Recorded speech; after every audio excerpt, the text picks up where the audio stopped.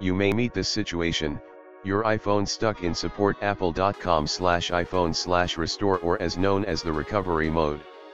Today we gonna show you two easy methods to fix this problem. Method 1, force start your iPhone. Press and release the volume up button, then press and release the volume down button. And then hold the power button until Apple logo appears.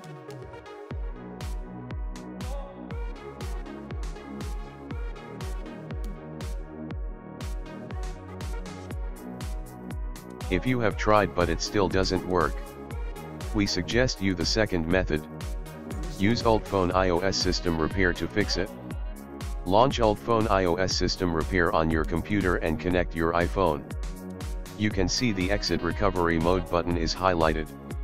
You can just go ahead and click it because this feature is totally free.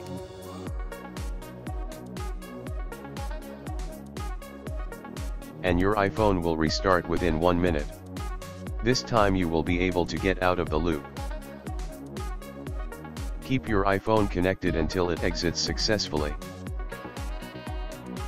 Congratulations, now your iPhone goes back to life again. If you like this video, don't forget to subscribe us. See you next time.